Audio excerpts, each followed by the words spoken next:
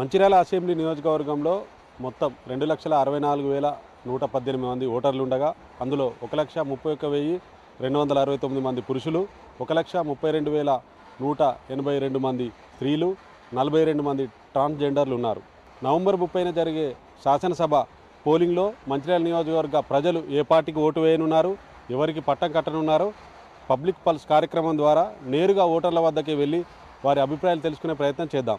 మంచిర్యాల నియోజకవర్గంలోని హాజీపూర్ మండలం పడతన్పల్లి గ్రామంలో ప్రస్తుతం మనం ఉన్నాం. పబ్లిక్ పల్స్ కార్యక్రమం నేపథ్యంలో ఇక్కడ ఓటర్లు ఏమనుకుంటున్నారు? వాళ్ళ అభిప్రాయాలు ఏంటో నేరుగా గ్రామస్తులతోనే అడిగి తెలుసుకునే ప్రయత్నం చేద్దాం. బాబు చెప్పండి మీ పేరేంటిది? ఏ ఊరు? మీరు ఏం చేస్తారు? మాది పడతనపల్లి. సిరిపురం రా సిరిపురం రాజయ్య. ఏం చేస్తావు నువ్వు? కూలి పని చేద్దాం. కూలి పని చేస్తావు. మరి నవంబర్ ముప్పై తారీఖు పోలింగ్ ఉన్నది కదా ఎలక్షన్లు వచ్చినాయి. ఏ పార్టీకి ఓటేద్దాం అనుకుంటున్నావు? టీఆర్ఎస్. ఎందుకు టీఆర్ఎస్కి ఓటేద్దాం అనుకుంటున్నావు? అది పింఛన్ వస్తుందని ఎత్తున్నాను పెన్షన్ ఎంత వస్తున్నది? రెండు వేల పదహారు. రెండు వేల పదహారు వస్తున్నది. మరి ఎందుకు టీఆర్ఎస్ పార్టీకి అనుకుంటున్నావు? మీరు మిగతా పార్టీలు ఉన్నాయా కాంగ్రెస్ ఉన్నది బీజేపీ ఉన్నది వాళ్ళకి వేయవా? వేయం సార్. ఎందుకు వేయవు? ఇది మనకు ఇది పింఛన్ రాబట్టి కాబట్టి మేము ఎత్తున్నాం కాబట్టి. అంతే. పెన్షన్ వస్తుంది కాబట్టి టీఆర్ఎస్ పార్టీ టీఆర్ఎస్కి వస్తున్నాం. మీ పేరు చెప్పండి మీ పేరేంటిది? చిన్న రాయలింగ్. రాయలింగు. ఏం చేస్తారు మీరు? వ్యవసాయ పని చేస్తాం. వ్యవసాయం. ఇక్కడ పడతనపల్లేనా? అదనపల్లి చెప్పండి ఎలక్షన్లు వస్తున్నాయి కదా. ఎవరికి ఓటేద్దాం అనుకుంటున్నావు నవంబర్ ముప్పై తారీఖు పోలింగ్ కదా. ఎవరికి ఓటేస్తావు టీఆర్ఎస్కి ఇస్తాం ఎందుకు టీఆర్ఎస్కి వేస్తావు? ఎందుకంటే మాకు రెండు వేల పదహారు ఇస్తాండు కదా. పెన్షనా? పెంచిని ఉమ్. అందుకోసం ఉమ్. మరి కాంగ్రెస్ బీజేపీలు ఉన్నాయి వాళ్ళకి అదంతా అయ్యాం మేము అటు. ఎందుకు? ఎందుకంటే మాకు ఈ నెల నెల పంపుతాండు మేము చేస్తాను. తీసుకుంటాను. తీసుకుంటాను. కాబట్టి టీఆర్ఎస్ ఓటేస్తాను అటు వేస్తాం.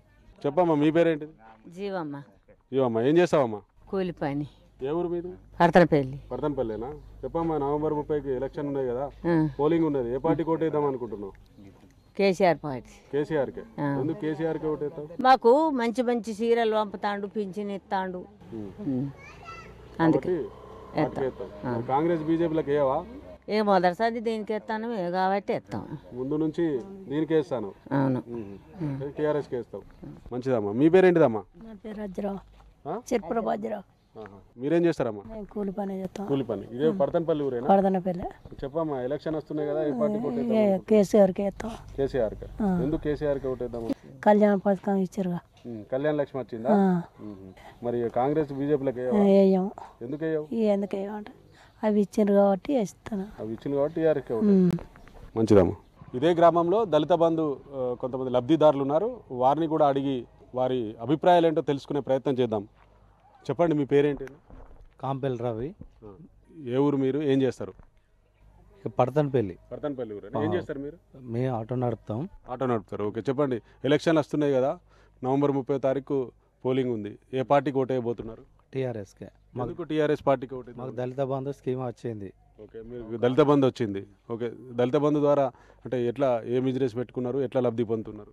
జేసీబీ పెట్టుకున్నాం పొక్లింగ్ పెద్దది. ఆరుగురు పొత్తులో పెట్టుకున్నాం మంచిగా నడుస్తుంది. మాకు అనుకున్నట్టు కేసీఆర్ మాకు ఒక హామీ ఇచ్చినందుకు మేము ధన్యవాదాలతో మంచిగా సెట్ అయిపోయినాం. ముఖ్యమంత్రి గారు ఒక దారి చూపించింది మీకు దళిత బంధు ద్వారా. సరే అండి ఇప్పుడు మీకు టీఆర్ఎస్ పార్టీకి ఓటేద్దాం అనుకుంటున్నారు. మరి ఇప్పుడు బరిలో కూడా కాంగ్రెస్ పార్టీ బీజేపీ నేతలు కూడా తిరుగుతున్నారు కదా వాళ్ళు కూడా హామీలు ఇస్తున్నారు కదా మేము ఇవాళ ప్రజల కోసము మేము అధికారంలోకి వచ్చిన తర్వాత అది చేస్తాం ఇది చేస్తామని వాళ్ళు కూడా హామీలు ఇస్తున్నారు కదా. ఇవాళ కాంగ్రెస్ బీజేపీ పార్టీలకు ఓటేయరా మీరు? అట్లా ఏం సార్. ఎందుకు? మేము కాంగ్రెస్ నుండి అరవై సంవత్సరాల నుంచి చూసుకుంటూ వస్తున్నాం. మాకేమి కూడా జరగలేదు. కేసీఆర్ ఆధ్వర్యంలో మాకు మంచిగా అనుకున్నట్టు మాకు ఒక దారి చూపెట్టింది కాబట్టి ఆయనకే ఓటేస్తామని చేస్తున్నాం. ఓకే మంచి థ్యాంక్ యూ అండి. మీ పేరు చెప్పండి. మీ పేరేంటిది? మీరేం చేస్తారు? మీ దేవురు రేగుంట హరీష్. నవంబర్ ముప్పైన పోలింగ్ ఉంది.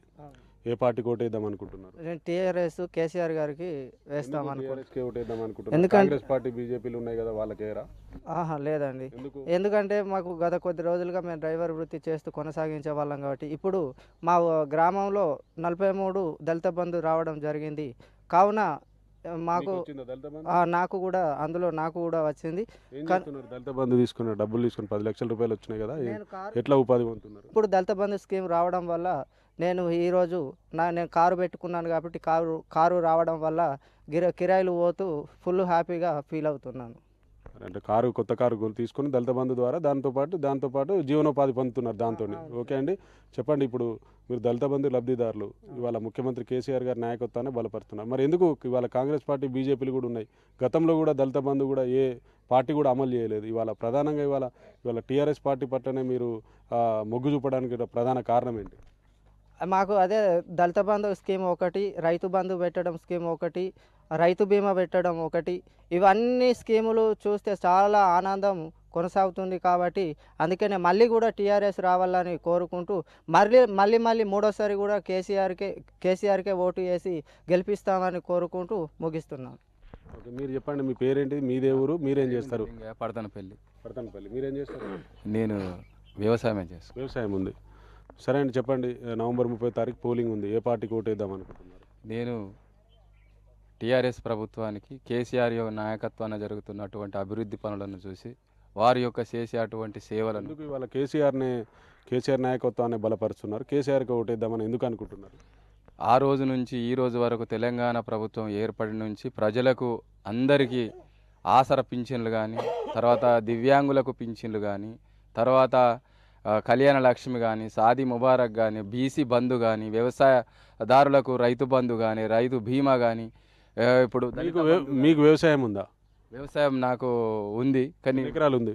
నాకు ఎకరం భూమి ఉంది. బీజేపీలు కూడా ఉన్నాయి కదా పోటీలో వాటికి ఓటేయరా కాంగ్రెస్ బీజేపీలు ఉన్నాయి. ఆ ప్రభుత్వాల కన్నా వాటి ఏర్పడే ప్రభుత్వాల కన్నా ఇది భిన్నంగా ఉండి రైతు పేద ప్రజలకు మంచి సేవ చేసే కార్యక్రమంలో మనసున్నటువంటి మహారాజు అయినటువంటి మన కేసీఆర్ గారు ఆ మన అందరి మనల్ని పొందుతున్నటువంటి సబ్బండ వర్ణానికి సబ్బండ వర్గాలకు మంచి చేస్తుండు కాబట్టి మేము కేసీఆర్ ప్రభుత్వాన్ని నమ్ముకున్నాం కేసీఆర్ నమ్ముకున్నాం మా నియోజకవర్గాన్ని దివాకర్ రావు గారు నమ్ముకున్నాం మా గ్రామంలో ఉన్నటువంటి గోలసీను గారి గారు కూడా నమ్ముకొని మేము ప్రభుత్వానికి అండగా ఉంటాం. ప్రభుత్వంకు చేతనిస్తూ మాకు ఏ ఎప్పుడైతే ప్రభుత్వం మాకు చేతనిస్తుందో ఆ ప్రభుత్వానికి మేము అండగా ఉండి ప్రభుత్వానికి మేము చేతనిస్తాం ప్రభుత్వం యొక్క అన్ని రకాలైనటువంటి లబ్ధి పొందుతున్నాం మేము. ప్రభుత్వం ద్వారా అన్ని లబ్ధి పొందుతున్నాం కాబట్టి కేసీఆర్ గారికి మేము రుణపడి ఉన్నాం. వారు మాకు కూడా ఇంకా కూడా ఈ దళిత బంధు పథకాన్ని అందరికి కూడా వర్తించేటట్టు. మేము వచ్చిందని మాకు సంతోషం కాదు. ఇంకా అందరికీ కూడా ఈ సబ్బండ వర్గాలు ఉన్నటువంటి మా సోదరులందరికీ కూడా దళిత బంధు రావాలి అన్ని పథకాలు వర్తించాలని కేసీఆర్ గారు నమ్ముకున్నాం. కేసీఆర్ గారు తప్పకుండా చేస్తారు. వారి వారు ఏ విధంగానైతే బీడువడ్డ భూములకు పాడుపడ్డ భూములకు ఇవాళ నీరు అందించే కార్యక్రమంలో మనది జలాన్ని సస్యశ్యామలం చేస్తుండు. ఇప్పుడు పంటలను సస్యశ్యామలం చేసి పంటలకు నీరిస్తుండు కాబట్టి కేసీఆర్ గారు మా ప్రభుత్వం మాకు దేవుడిగా మేము భావిస్తున్నాం. కేసీఆర్కే ఓటేస్తాం. ఓకే థ్యాంక్ యూ అండి.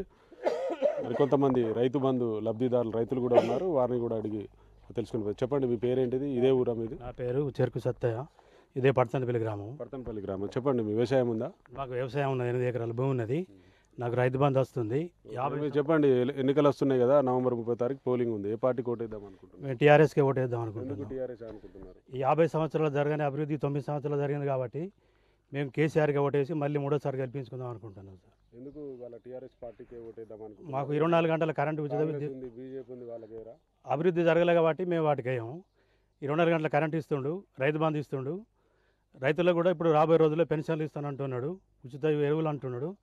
ఇంకా అభివృద్ధి జరగాలని మూడోసారి గెలిపించుకుందాం అనుకుంటున్నాం సార్. మంచిగా అండి. థ్యాంక్ యూ మీ పేరు చెప్పండి. మీ పేరు ఏంటిది మీరేం చేస్తారు? బొమ్మకంటి సత్తయ్య.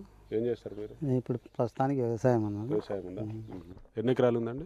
ఆ, రెండు ఎకరాలు ఉంది. రెండు ఎకరాలు. ఇదే పడతనపల్లి గ్రామమేనా మీది? పట్టంపల్లి గ్రామం. ఓకే చెప్పండి. ఎలక్షన్ వస్తున్నాయి కదా నవంబర్ ముప్పైన పోలింగ్ ఉంది. ఏ పార్టీ కోటేద్దాం అనుకుంటున్నారు? టీఆర్ఎస్కే వేద్దాం అనుకుంటున్నాం. టీఆర్ఎస్ ఎందుకు టీఆర్ఎస్ ఇక అనుకుంటున్నారు మాకు కేసీఆర్ గారు ఇచ్చే పథకాలు మాకు అనుకూలంగా ఉన్నాయి కాబట్టి దళ రైతు బంధు వస్తుంది నాకు పెన్షన్ కూడా వస్తుంది కళ్యాణ లక్ష్మి వచ్చింది ఒకటి. అందుకే వేస్తాం అనుకుంటాను. సరే అండి మరి ఇప్పుడు బరిలో కాంగ్రెస్ పార్టీ బీజేపీలు కూడా ఉన్నాయి కదా వాళ్ళు కూడా హామీలు గుప్పిస్తున్నారు కదా మేము అధికారంలోకి వచ్చిన తర్వాత అన్ని రకాలుగా కూడా అది చేస్తామని మిగతా అవి చేస్తాం ఇవి చేస్తామని ఆచరణ లేని హామీలన్నీ కూడా గుప్పిస్తున్నారు కదా ఎందుకు ఇవాళ కాంగ్రెస్ బీజేపీలకు ఓటేయరా మీరు? మేము దానికి ఇప్పుడు మేము తీసుకున్నాము కాబట్టి దీనికి వేయాలనుకుంటున్నాం. ఈ పథకాలన్నీ మేము అనుభవించినాం కాబట్టి మేము దీనికి వేయాలనుకుంటాము. వాళ్ళు ఇంతవరకు ఇవ్వలేదు మాకేం. టీఆర్ఎస్కే వేద్దాం అనుకుంటాం. బీఆర్ఎస్ పాలనలోనే తమ గ్రామం అభివృద్ధి చెందిందని నవంబర్ ముప్పైన జరిగే పోలింగ్లో బీఆర్ఎస్ పార్టీకే మా ఓటు అంటున్నారు మంచిర్యాల నియోజకవర్గంలోని హాజీపూర్ మండలం పడతనపల్లి గ్రామస్తులు. వీడియో జర్నలిస్ట్ శ్రీనివాస్తో ఉమేష్ టీ న్యూస్